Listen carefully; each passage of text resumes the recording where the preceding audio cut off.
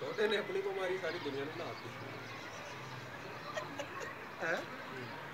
ਸਾਰੀ ਦੁਨੀਆ ਪਰੇ ਪਰੇ ਹੋ ਕੇ ਤੁਰਨ ਡਈ।